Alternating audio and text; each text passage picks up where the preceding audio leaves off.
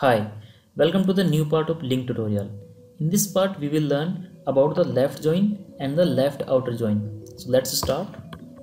We will learn what is left join, what is left outer join and then we will create few examples of this join with the help of query syntax and the method syntax. First of all let's understand what is left join. So in the left join you can see we have two data sources. Suppose on the left side this is the first data source and on the right side there is the second data source and there may be some possibilities that there are few data which is common in both the tables.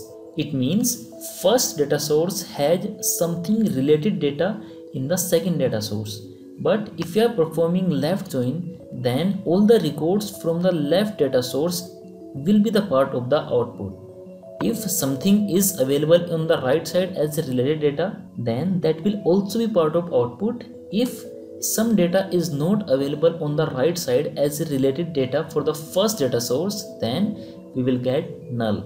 So this is the graphical representation. Now let's understand the definition of left join.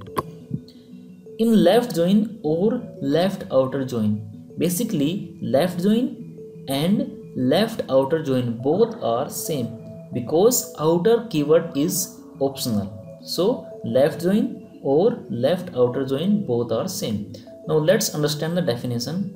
In this join all data from first data source is returned okay? So whatever is available in the first data source will be part of output regardless of whether it has any related data in the second data source. It means that this is not mandatory that each record of the first data source should have any relation in the second data source. All the records from the first data source may or may not have any data in the second data source. If few records or all records data is not available in the second data source then null value is returned for the second data source. If some related data is available in the second data source then that will also be part of output. If it is not available then we will get null value and the last point is left join or left outer join both are same because outer keyword is optional so if someone asks you to perform left join or left outer join then you have to perform only this thing which we are going to do in this part let's create a demo and let's understand how it works here I am in my Visual Studio and here I have created a very basic console application. In this console application I have two classes. First you can see I have address class.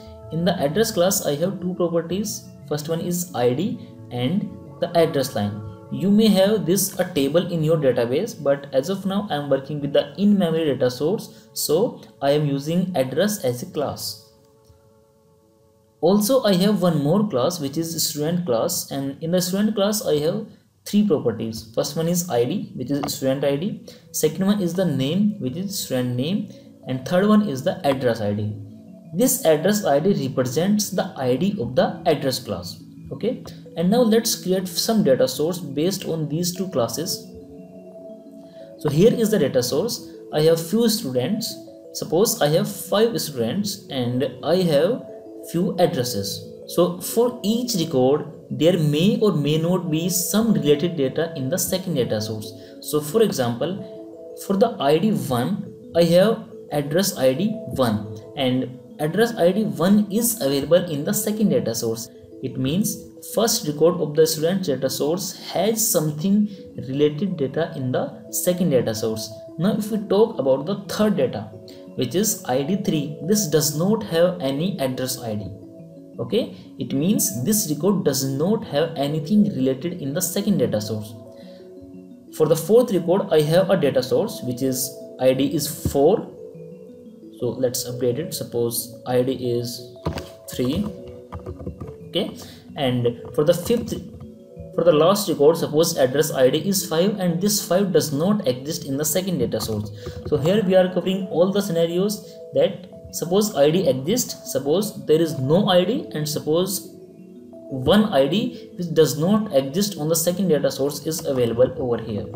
Now we have to perform left join on these two data sources. What is the requirement? So the requirement is I need to fetch all the students from the student data source and if something is available in the second data source it means if address of the student is available then i need that address also if address is not available for any student then i need a blank data but i need the name of the students now to learn about the left join first you have to understand about the group join.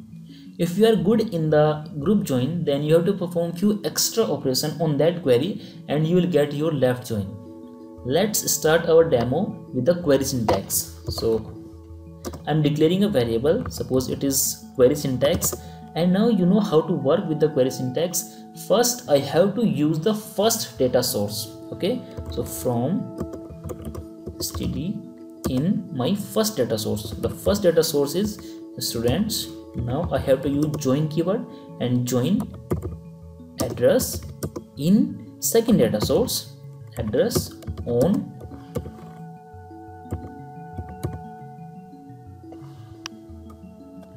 before that we have to use the LINQ namespace. System dot Linq.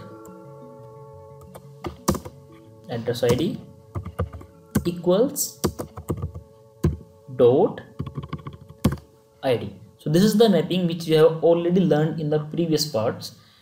And now we have to use into keyword. Just like we have done in the group join we have to do this thing in the left join also. So student address. Okay? And now we have to do something extra to perform the left join in the group join and now instead of selecting data from the add variable we have to select our data from the std address. Because there are possibilities that few records may or may not available in the second data source. So we have to write some logic for this condition. So from student address in our into variable. So this is std address dot default if empty default if empty means this work with a reference. And if something is not available as a reference in the second data source then it will return null. If any data is available in the second data source then it will return that data. Now here you have to select your data. Suppose i'm selecting data anonymous so i need two things. I need all the records from the student and if something is available in the right side which is address i need i need to select that data also. So so student record is available in std and the address data is available in student address. So instead of using add keyword you have to use student address over here. Okay and that's it. Just put it in a bracket and at the last just use to list method to execute this query. And if i press f5 before that let me put a breakpoint over here. So you can see we have five records. Why five records? All the records from the first data source will be part of output. That's why we have five records. And now let's expand our data. So for the first you can see we have student okay? We have student address also. So for the student we have first record and for the address also we have maria address. Now let's go to the second record which also has address. And as per our data source second record also has a address. Now if we talk about the third one the third record does not have any address. That's why we are getting null here. And we are having complete record of the student. Similarly we have a data for the third record which is index 3 the fourth record. And for the five for the fifth record, we do not have any data in the address table. That's why we are only getting student record and address is null in this scenario. Now if you need to select your data in your other class or in anonymous way, then you can do, suppose I need to select only the name and the address line. So I can write name. Name is available where std dot name okay? And now for the second suppose I need to select uh, let's change it. Student name. And suppose I'm writing here student address.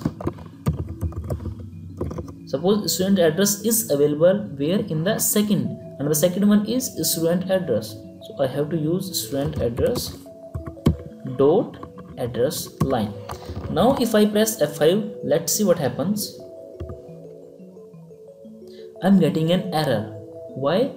I'm getting a null reference exception. Object reference not set to an instance of an object. Why? Because for few records student address may be null and we are performing null dot address line. That's why we are getting this exception. So before selecting you have to check whether student address is null or not. If it is not null then we will select this data or we will be getting NA now let's press F5 and you can see in the query syntax we have five records. We have student name and the student address. For the first second and the fourth record we have name and the address. But for the third and the fifth record we do not have any address. That's why we are getting na here in the output. This is how you can write your left join with the query syntax. And now if you need to perform our query with the method syntax let's see how to do that. So here I can write method syntax.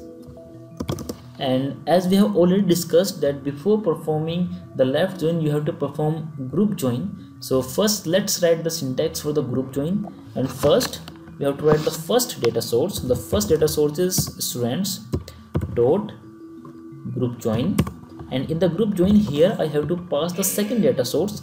Second data source is address here.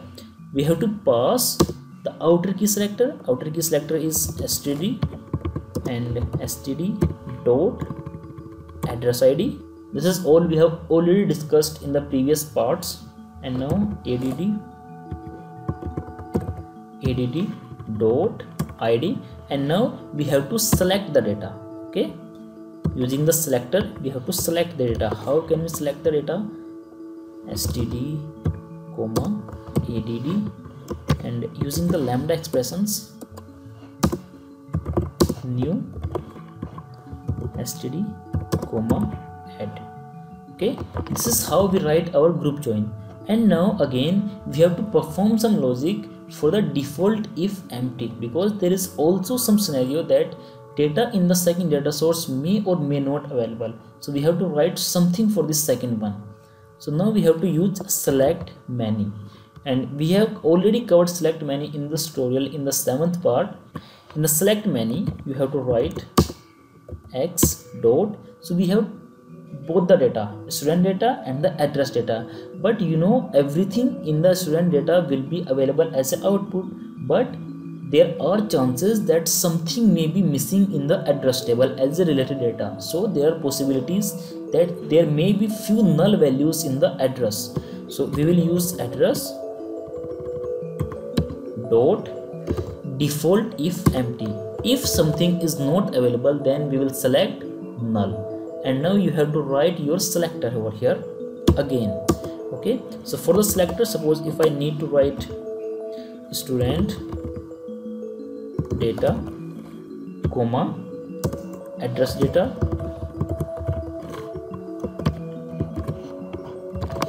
so suppose first i'm working with the anonymous way and here you have to use student data dot std why because now we are under one step hierarchy and we have to use dot std then comma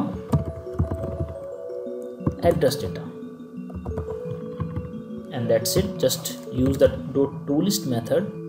We have to use new keyword okay and then toList method.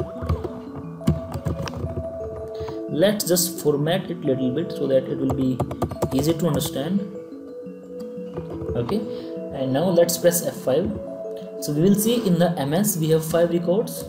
And in the five records we have student and address data for the first second and the fourth record. And for the third and fifth record we have only student data and the address data is null now let's verify the result.